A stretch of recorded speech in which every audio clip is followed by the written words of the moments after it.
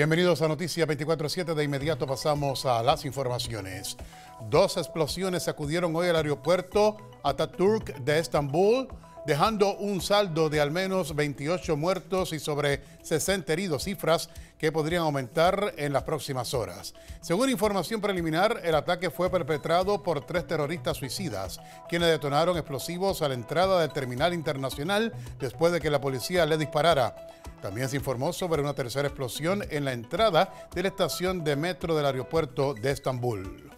Pasando al ámbito local, cuatro de los seis candidatos a la gobernación acudieron hoy al recinto de ciencias médicas para discutir sus propuestas en torno al tema de la salud en Puerto Rico. Durante el conversatorio se resaltaron las deficiencias del sistema de salud actual y lo que debería ser un modelo efectivo.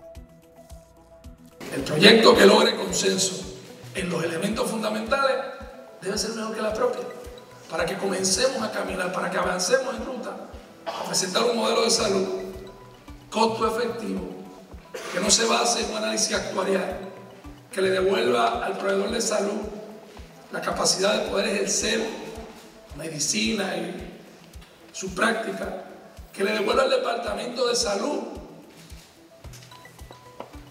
su deber constitucional. Mientras el país no asuma como un proyecto hacer de la salud un derecho humano viabilizable a través de políticas públicas, ese panorama no va a cambiar. Y para eso, yo creo que sí hay que comenzar a apuntar a los culpables, porque ninguna de las cosas que le pasa al país es por mala suerte. Y se habla de un sistema de salud centrado en el paciente, estamos de acuerdo. Y es hasta absurdo que uno tenga que plantearse crear un sistema de salud centrado en el paciente. ¿En qué otra causa puede estar centrado? El problema es que el nuestro no está centrado en el paciente y hay que preguntarse en qué está centrado. Y está centrado en el lucro privado. Tenemos que empezar a trabajar en el área de la salud con las personas que dominan esta área. Tenemos que empezar a trabajar con política pública científica. Que sean los científicos los que dominen el tema, los que tomen decisiones de ese tema.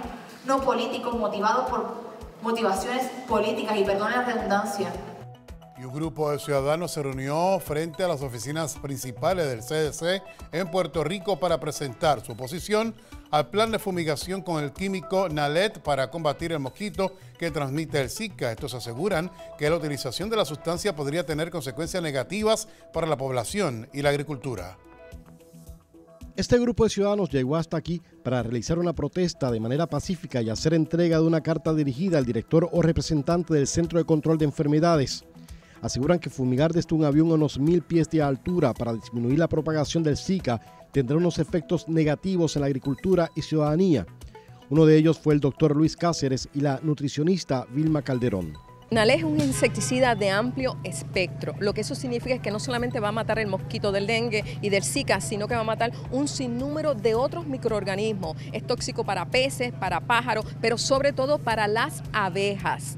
El nalet mata las abejas y aquellas abejas que se quedan todavía vivas les afecta incluso la producción de miel. Y si matan las abejas, que son las grandes polinizadoras, no tenemos agricultura. Y si no tenemos agricultura, no tenemos comida.